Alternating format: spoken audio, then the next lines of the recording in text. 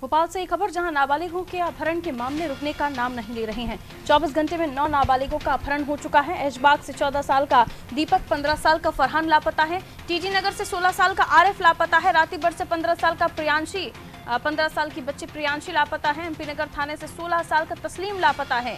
पिपलानी से 17 साल का अभिषेक मीणा लापता है। गौतम नगर से 17 साल का सुभाना लापता है।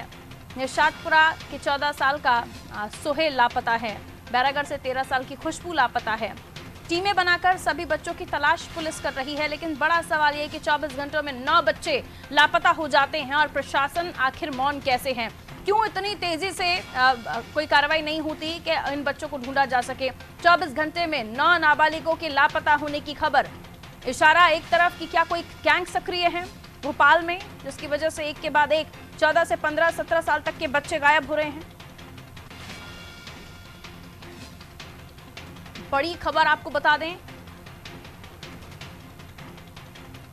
आखिर कौन है जो इन बच्चों को गायब कर रहा है? क्यों आखिर इनके लापता होने की खबरें आ रही हैं? और ये बच्चे आ, किस तरह से गायब हुए हैं? क्या इनके गायब होने की जो स्टोरी है वो एक तरह की है?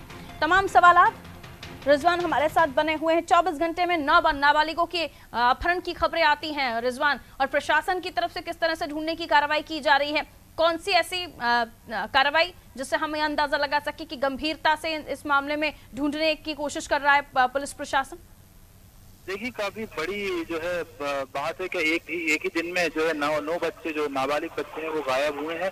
अब पुलिस जो है, जो अभियान पुलिस की तरफ़ से चलाया गया है, जो मुख्यमंत्री शिवराज सिंह चौहान ने शुरुआत की थी का मुस्कान ऑपरेशन, उसके तहत जो है पुलिस अब इन बच्चों को ढूँढने का प्रयास कर रही है। हालाँकि अभी एक भी बच्चा जो है पुलिस के जो है मिला नहीं है। परिवार वालों से लगातार पुलिस संपर्क कर रही है और परिवार वालों से ये भी कहा जा रहा है कि आसपास जो है लोगों से पूछताछ कर। रहे हैं पुलिस सीसीटीवी फुटेज के माध्यम से जो है बच्चों की तलाश कर रही है, लेकिन अभी पुलिस को किसी भी तरह की कोई सफलता नहीं मिली है। जेडीसन से भी सचिन अदुलकर का यही कहना है, जो अभियान है, उसके तहत जो है हम ढूँढने की बच्चों कोशिश कर रहे हैं और काफ़ी गंभीर विषय है कि एक ही दिन में जो है नौ बच्चे जो है भोपाल शहर से गायब हुए हैं। इस पर जो है जो है बैठक भी की जा रही है। हालाँकि पहले कई बच्चे गायब हुए, कुछ बच्चों की जो है जो है हत्या कर दी जाती है। कुछ बच्चों को बेचने के भी मामले सामने आए हैं, लेकिन अभी तक इस तरह का कोई अभी जो है, घटना सामने नहीं आई है इन बच्चों के साथ।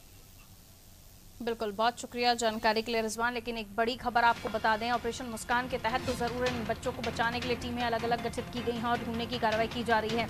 लेकिन उसके बावजूद भी ये बहुत ही बड़ा मैटर है कि एक दिन में चौबीस घंटे के अंदर अंदर लगभग एक ही उम्र के बच्चे गायब हो जाते हैं। नौ बच्चे, नाबालिग बच्चे, जो करीब आप बारह से तेरह साल के बच्चे से लेकर ये पंद्रह से सत्रह साल के बच्चे हैं, जो अपहरण जिनका किया गया है।